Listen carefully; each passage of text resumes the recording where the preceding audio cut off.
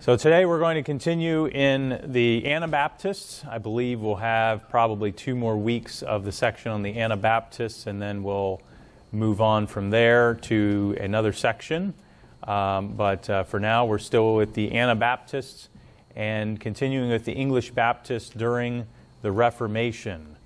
Uh, the English ba- Baptists during the Reformation. And um, I was. Uh, so now my, my uh, the clicker thing is not working. Yes, we are. All right. Uh, English Baptists during the Reformation. Uh, the English Baptists were not new in the 16th century, but being called Baptist was new. Uh, and that's, that's an important distinction to make is that just because they weren't always called Baptist or Anabaptist uh, does not mean that the, those people were not around. It does not mean there were people who were separate from the established churches. It just means they were called by different titles, different names, uh, various groups. It was, in this time, it was harder to organize churches because of persecution. Uh, and so there might have been times when the groups were more loosely organized than traditional churches today. Our, our viewpoint of traditional churches is well, you have a church building, uh, you, you know, everybody just, you're just wide open in front of everybody, uh, no, no thought about it. Uh, but there were times when they had to meet wherever, whenever they could, and so there was maybe a looser organization of them, but they were still, um, but they were still in existence at that time. And uh, it is harder to find information about them because many of their writings were destroyed, uh, and that's that's one of the big challenges regarding church history, Baptist history. It's usually from a very Catholic perspective or a Protestant uh, perspective as far as the established Protestant churches in the respective countries. But uh, as far as when you have groups that are just very loosely organized, there's not going to be a lot of writings about them, and so uh, there, there's just not as much available uh, regarding the history. Um, and, and then the other thing is when when, they're when you're being persecuted, uh, part of the persecution is the writings being destroyed, um, tracked down, being banned, and that is that's a, one big reason why uh, it's harder to find information about them as well. Uh, King Henry VIII began his reign in 1509 and denounced Anabaptists three times through official proclamations. By 1525, Baptists were visible in London. Uh, nobody knows necessarily how long they were there at that time, but uh, but persecution made them more visible. Um, persecute, it, it, it, it, created awareness that, that they were there uh, because of then the persecution. Whereas, you know, if there's no persecution and you have a relative, I mean, very pretty small minority of, of people in a city, uh, they're going to go about and do their business. They're going to worship. They're going to go about their lives, and you might not even know they're there as much. But when the persecution comes, then there is a great visibility uh, that uh, there's an awareness that they're actually there. Two of the preachers in London were Simon Fish and James Bainham. Uh, Fish wrote pamphlets in defense of the Baptist faith. He died of the plague in 1531, and his widow married James Bainham. Bainham wrote the pamphlet The Beggar's Petition Against Papacy. He and his wife were put into prison in March of 1532 on suspicion of heresy. James was brutally tortured on the rack uh, and under duress he recanted. The next Sunday, still pale from his torture, he stood up in an Anglican church service and in tears confessed his sin of recanting the truth and declared that he would never do it again. He was arrested and placed in chains in, his, in the uh, coal cellar of the Bishop of London. He was repeatedly whipped, but nothing could make him recant his faith again. He was burned at Smithfield on uh, April 20th, of 1532. So here's one of those examples of recanting and then saying, no, actually, uh, that was a great sin that I recanted my faith. Uh, in 1528, seven Baptists from Holland were arrested. Two of them refused to recant and were burned in Smithfield. In November of 1531, Ammonius complained to Erasmus that the Anabaptists continued to grow despite being burned. Uh, in 1533, Henry issued an order which stated that many strangers who had entered England were re- and were rebaptized had to leave. Uh, and they had 12 days to leave. And in 1535, 28 Hollanders were arrested and 14 were burned to death. Uh, in October of 1538, the king appointed Archbishop Thomas Cranmer as head of a commission to prosecute Baptists wherever they were found. And then, after Henry King Edward stopped the persecution of Protestants, uh, but allowed the persecution of Baptists to continue. And um, uh, so we see, and we'll see this back and forth where there was different types of persecution going on depending who was in power uh, as far as what they allowed. Now, King Henry VIII, uh, remember, King Henry VIII was still a, uh, as we talked about him earlier, he was still more of a Catholic at heart. He started the Church of England just because of his um, uh, some of his different viewpoints regarding uh, marriage and divorce and uh, wanting to uh, annul his marriage or divorce his wife. And he's known for his many wives. But he was still a Catholic at heart, where uh, King Edward stopped the persecution of Protestants, but then still allowed the persecution of Baptists to continue. Bishop John Hooper wrote in 1549 to complain about the quote Anabaptist flock in London that give uh, the, he says they give me much trouble, and uh, so another indication. These are just little antidotes, and that's a lot of what we see in history. Is that it's not just who were the Baptists writing the history; it's who were the Protestants or who were the Catholics writing the history um, regarding that that. It, indicate there were other groups there that they called the Anabaptists or the Baptists, and that's also another crucial uh, uh, insight, or at least a crucial tool and some information that can give us more uh, uh help in, in seeing the history. Uh, Baptist churches existed in the district of Kent. Uh, someone by the name of Cramp wrote, a writer, a historian by the name of Cramp wrote, their Christian organization appears to have been correct and complete they met regularly for worship and instruction. The ordinances of the gospel were attended to. Contributions were made for the support of the cause, and so great was their zeal that those who lived in Kent were known to go occasionally into Essex to meet the brethren there, a journey of fourscore miles, which in the 16th century was no small undertaking. Their separation from the Anglican Church uh, was no later than 1548. Some of the Baptist preachers there were Cole of um, actually, I think that's end quote. Um, after when they journeyed into Essex, uh, journey of four score miles, which in the 16th century was no small undertaking. I believe that is end quote right there. Um, and then continue with uh, more of our information here. Their, uh, their separation from the Anglican Church was no later than 1548. Some of the Baptist preachers there were Cole of Feversham, Henry Hart, John Kemp, George Brodebridge, and Humphrey Middleton. These men had also preached in the days of Henry, and the pastors were arrested during the days of Edward, along with 60 members of the congregation. And uh, regardless whether it's dozens or whether it's hundreds or whether it's thousands of people being put to death, being imprisoned, being persecuted, think about the, just the fact that it did exist in England or, or in the other countries we've talked about. Just think about the fact that it did exist that people were being put into prison uh, for their faith and being put, uh, uh, being put to death for their faith. Now, during Edward's reign, John Calvin wrote a letter to Lord Protector Somerset and urged him to put Anabaptists to death.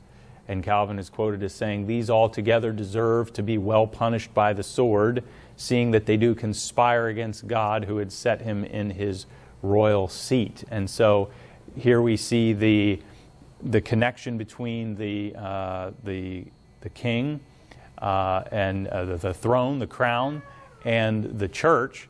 And, uh, you know, that if somehow if you're, if you're going against the, the crown, or if you're going again, if you're, if you're believing something outside of the established church, then evidently you're going against uh, the crown. You know, they're conspiring against God, uh, is, is what he said.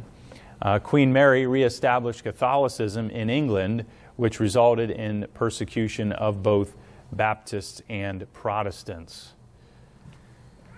Humphrey Middleton was imprisoned uh, for years during uh, Edward's reign and burned at the stake by Queen Mary in June of 1555. And Queen Elizabeth I established the Church of England on a more Protestant footing. Um, Elizabeth gave freedom to Protestants and treated Catholics with leniency, uh, but she treated the Baptists badly. And I'm looking at just how bad my typing and grammar was on a couple of these slides. But, uh, but she, she gave freedom to Protestants, uh, and, and, and that was a relief for them. Catholics were treated with leniency, so oftentimes the uh, some, sometimes Protestants persecuted Catholics, but there are other times, yes, the Protestant, uh, the Church of England was the established church, but Catholics were also not treated badly. Um, but she treated the Baptists badly. Now, this is one of the things that's unfortunate in our history books, even a lot of Christian history books. Um, Eliana, do you have a question? It means that even though she didn't necessarily support the Catholics, she did not come down hard on them, did not persecute them or imprison them or punish them for being Catholic. Um, but it's one of the unfortunate things, even in a lot of Christian textbooks, they're usually coming from a Protestant perspective where they don't really mention much about the Baptists and what was going on.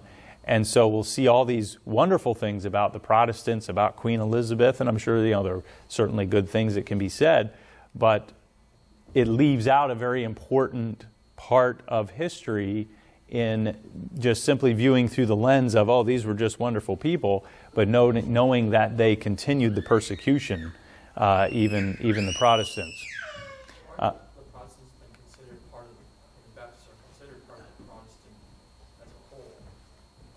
by a lot of modern day, man, that, that, that's probably the, um, the uh, maybe that's, that's some of those who write the textbooks maybe don't see that distinction.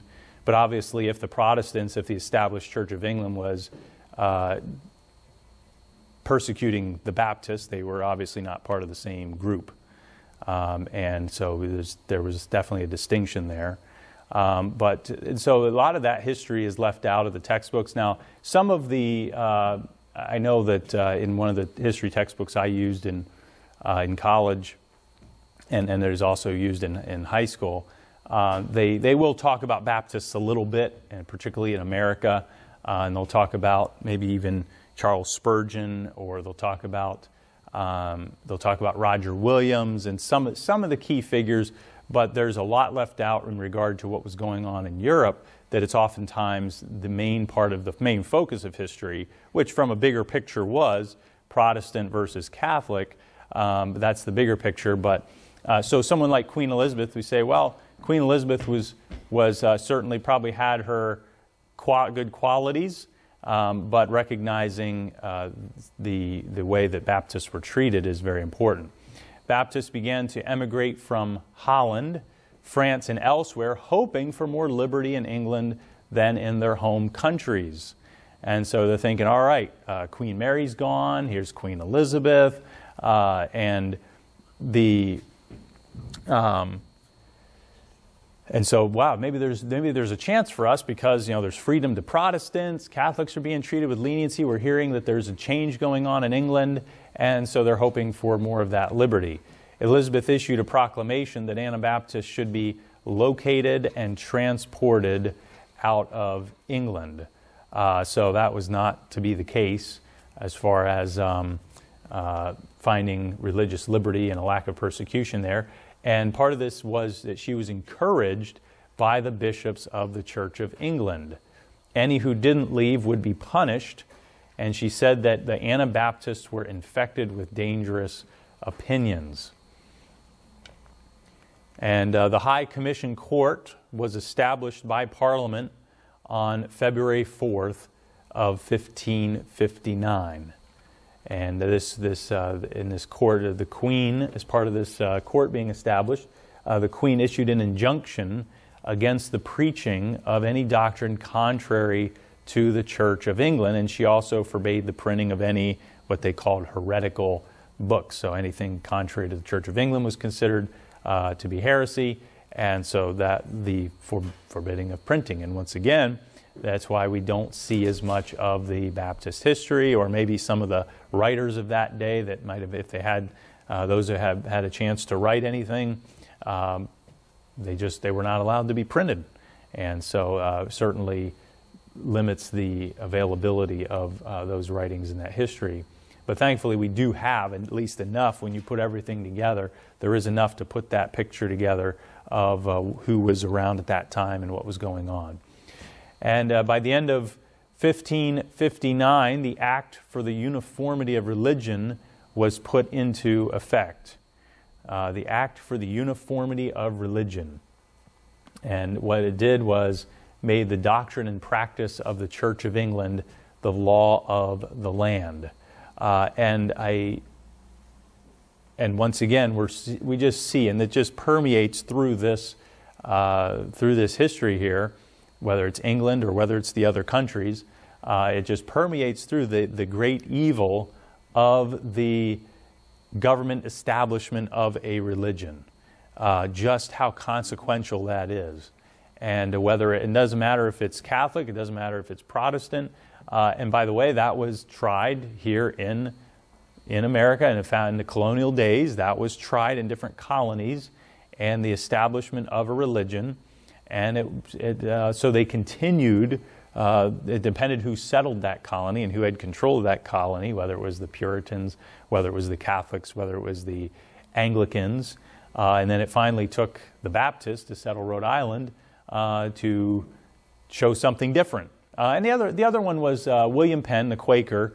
He was also pretty tolerant of other religions. And so when Pennsylvania was, was settled, uh, that was also a place where there was not as much uh, uh, persecution. But the real, as far as enshrining religious liberty uh, early on, was the colony of, uh, of what we know as Rhode Island, and they settled uh, they settled Providence, and they called it Providence, and in the city there. And unfortunately, it's a far cry from its beginnings as far as religiously speaking, Rhode Island is or Providence is uh, a very, very secular place. And um, in Frankfurt, Germany, there was a lot of uh, Baptists that were there, and uh, the, the German people considered, well, they, they had two state recognized or recognized mm-hmm. German, the Catholics and the Protestants.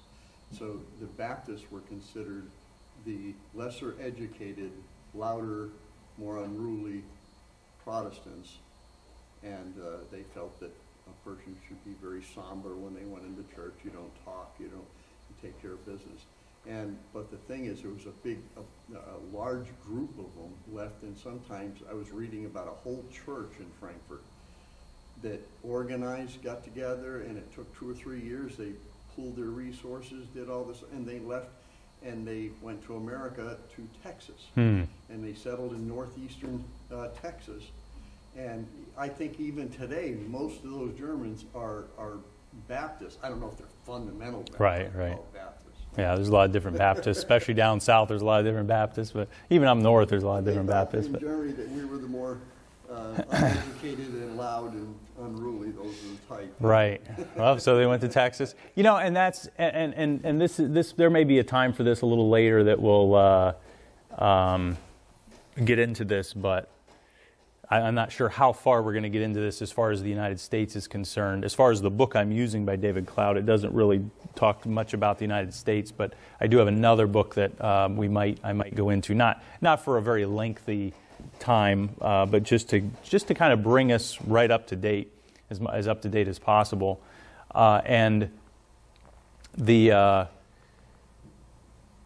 but that, that's, that's a good point of the migration of Baptists and why the North is, not, is in the situation it is here in the U.S.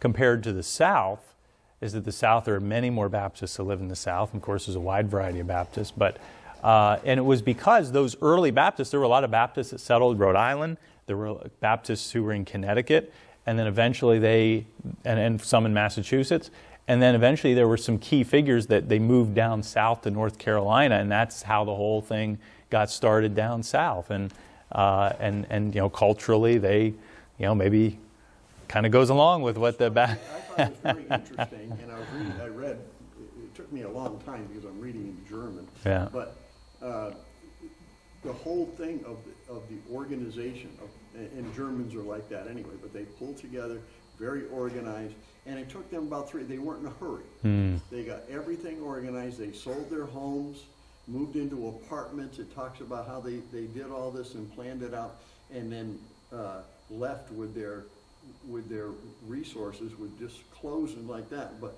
everything else was turned, was liquidated. And then they, they went, uh, to Texas, and the reason why they got such firm footing in Texas, and they did well with the reports coming back, was because they're very industrious, also very disciplined people. They with very little tools, they were able to accomplish a lot because they worked together and, and Yeah. they got well established in that part of Texas. Hmm. And, uh, I, I wondered what kind of Baptists they were. Yeah. Yeah, it's, you- you uh, couldn't get that, it just said. and, and this was at what time frame? Uh, Oh, this is, uh, I, I think this was um, around the sixteen hundreds, Okay. seventeen hundreds, or uh, late sixteen hundreds, early seventeen hundreds, because they closed the castle in Frankfurt. uh, That was a, it was uh, a Protestant kind of uh, church, but it was more like a castle. I mean, it had Okay. a moat, it had, you know, high walls and everything, a fortress.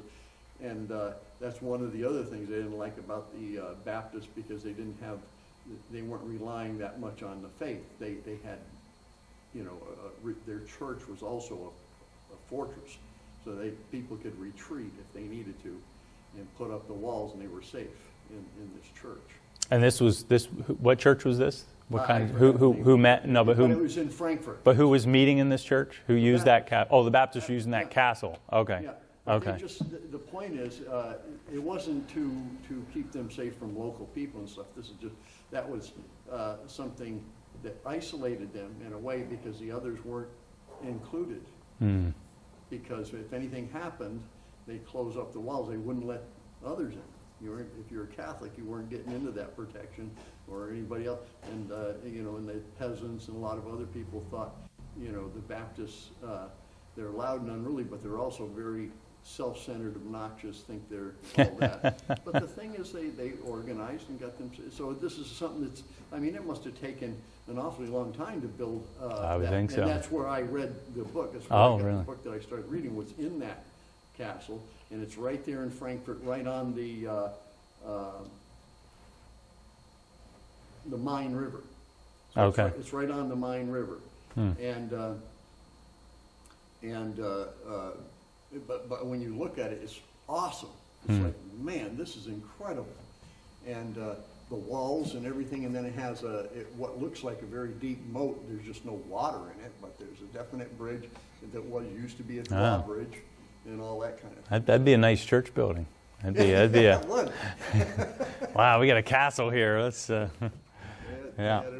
But that uh, that is that, that's interesting, and um, and yes, the the migration that, that, that took place really shaped the United States and uh, and other parts of Europe uh, when they would move around, and they would move around because of you know for various reasons, but uh, because of persecution being uh, one of them, uh, and uh, and it's also it's also notable to point out the difference between one of the key Baptist distinctives is separation of church and state, and that's one of the reasons. You know, uh, it's one of the the um, one of the one of the other indications as to why Baptists are not true Protestants, because Protestants. The, the, the, the foundation of Protestantism was not a separation of church and state. Now, many who are Protestants today, uh, and of course in America, the, the separation of church and state as far as the lack of a government establishment of a religion or the pro- prohibition of the free exercise thereof is enshrined as the law of the land in our Constitution.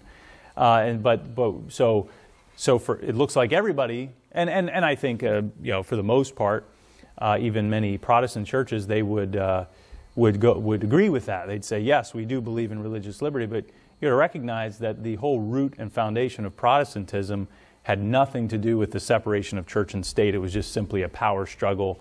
There were some theological differences um, between the reformers and the established Catholic Church But the, the, the separation of church and state, it was, and it's evidenced even coming to America, that even as late as the founding of America, that they still didn't believe in the separation of church and state, but the Baptists did.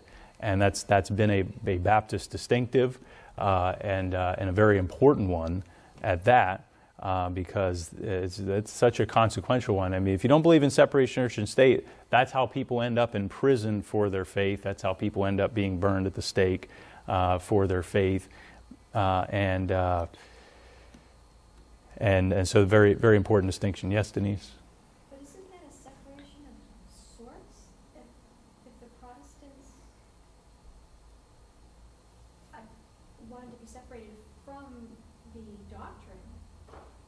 Well, they just didn't think of being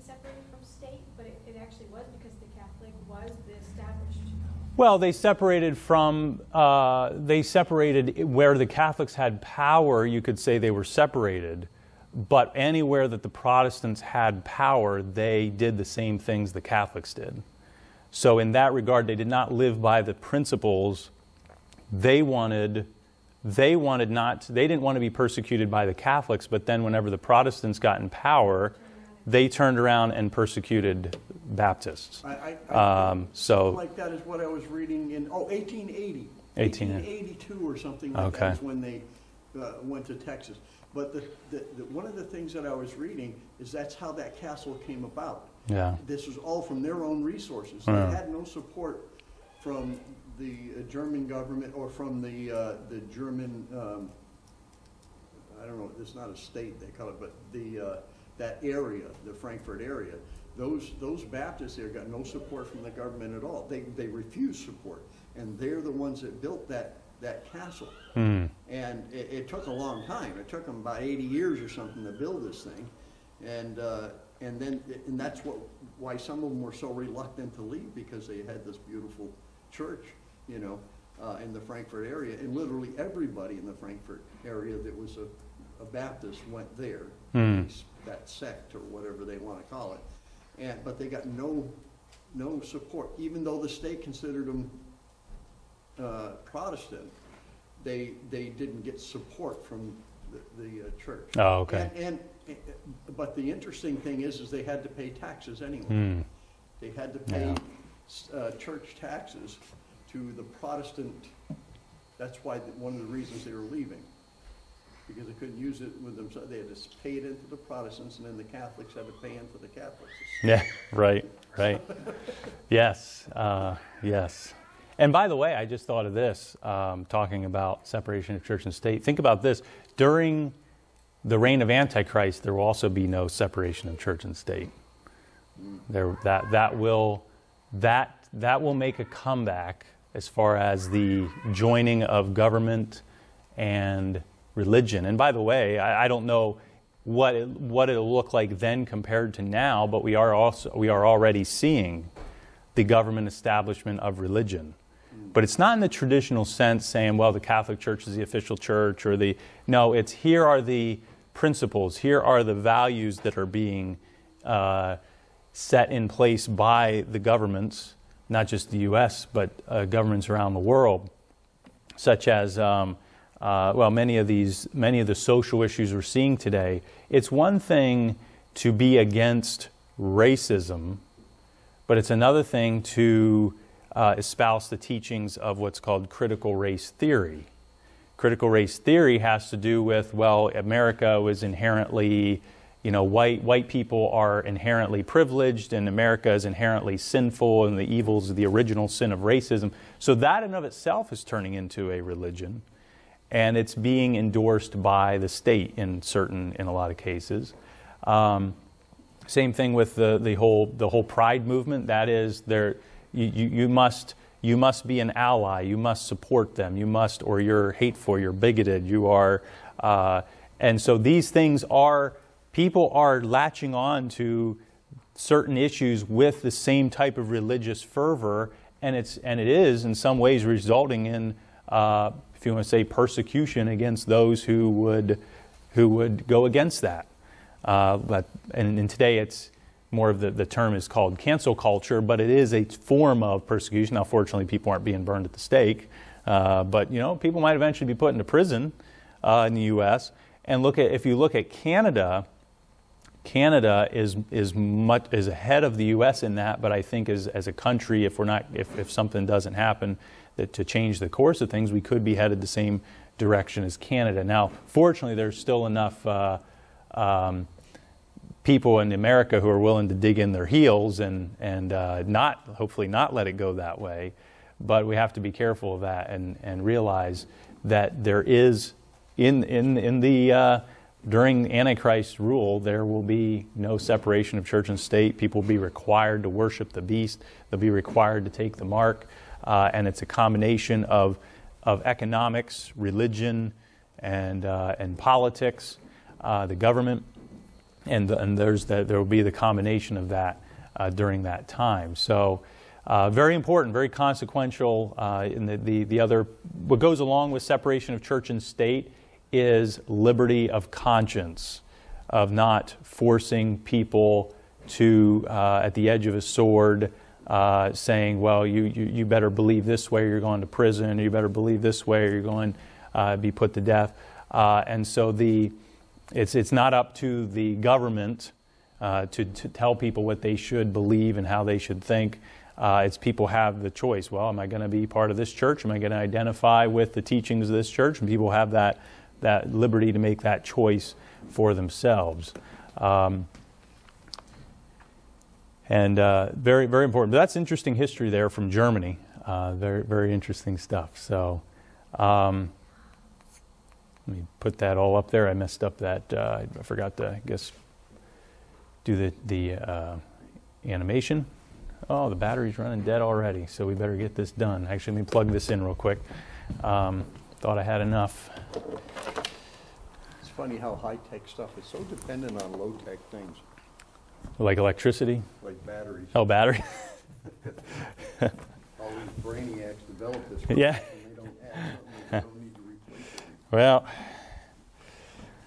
this computer has, has been, been around for a while. And uh, although the new, the new laptop I got earlier this year, the battery life on that is awful. I don't know what it is, but it's just, just, it's just awful. So, not sure why. Um, so, in June of 1575, two Dutch Anabaptists were burned to death at Smithfield. One was Hendrik Terwoekt. Hope I'm pronouncing that right. Hendrik Terwoekt. He was only about 25 years old, who had been married only a few weeks. He had fled to England to escape persecution in Fleming. The other man was Jan uh, Pieters. He was an older man with a wife and nine children. His first wife had been martyred in Flanders, and his current wife was the widow of a martyr. And so she would be widowed twice um, due to martyrdom. I mean, just, just think about that. Think about what a life that is. And, uh, you know, a 25 year old, and then a man who had already lost his wife, and then he married a woman who then had already lost her husband, and she was going to lose her husband again to persecution. The um, uh, one writer, Cramp, said that Elizabeth's warrant to burn the Baptist was nearly identical to Queen Mary's warrant to burn Archbishop Cranmer. And so that was Queen Mary the Catholic persecuting a Protestant. And, uh, but he, he said, he, he wrote that I have these warrants right in front of me, and I'm looking at the language of them, and this, the, it's, it's almost verbatim. It was almost verbatim uh, as far as how they handled, as far as it was during Elizabeth's day when they burned those Baptists. Around uh, 1588, Elizabeth joined, appointed John Whitgift as Archbishop of Canterbury and he was very zealous to uh, fulfill making the Church of England doctrine, the law of the land, making sure that law of the land was, was kept up. The Church of England is the established church. Everybody should be believing that doctrine and being part of that church. And so, in his zeal, he filled the prisons with Baptists. About 52 people were held for long periods in terrible conditions. Uh, and the persecution largely drove the Baptists out of sight during Elizabeth's reign, uh, and um, they they they either um, some of them left uh, or they they, they stayed, but then they had to go into hiding. And uh, so this was not a per- type of persecution that then brought them out. Uh, pri- previously, it, it, brought attention to the fact that the Baptists exist. And so there, but then there's the word, oh, there's a Protestant queen. You know, queen Elizabeth's now here. Queen Mary's gone, so let's go to England. And so then the opposite happened, where then the suppression of the Baptists then uh, put them uh, more out of sight during this time. They were still around, just not as predominant.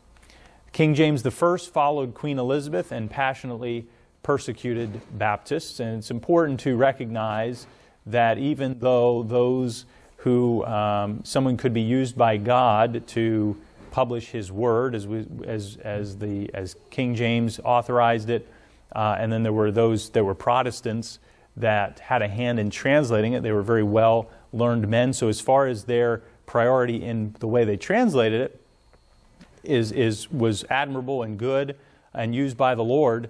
But as far as their practical living, and they were still part of that established church, and so there was still the persecution of Baptists. And, uh, and the last man burned alive in England for his religion was Edward Wightman, a Baptist and he was put to death on April 11th, 1612. And there was, uh, that, wasn't, that doesn't mean that was the last person who died for their faith in England, uh, because others died by wasting away in prison. And, there was, and the reason that they stopped the burning is that there was such a public outcry against burning that King James was content to let them die in prison. And uh, so, very, um, uh, very I mean, just, just very sobering to think about. This is England. Uh, this is a, I mean, I, I'd say as Americans, we identify the closest with England than we do any other European country because of the connections there. And, uh, and to think, you know, when I think of England, I think, okay, well, they're similar to America in a lot of ways.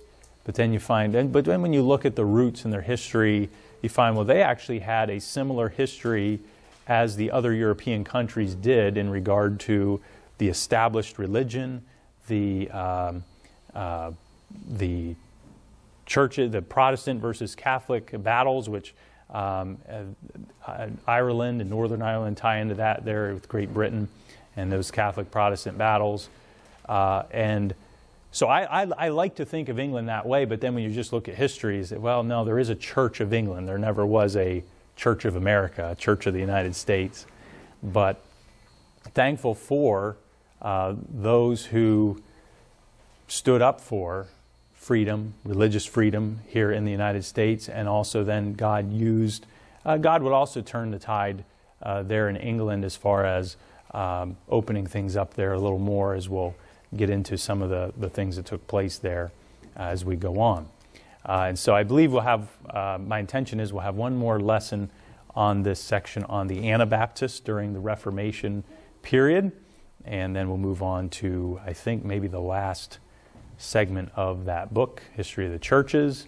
And so as we wind, start to wind it down, but I really, really, uh, I intend at least to also go into some of the history of particularly, I'm not going to go into the history of the churches in America, but primarily to bring us up to speed on the history of Baptists in America.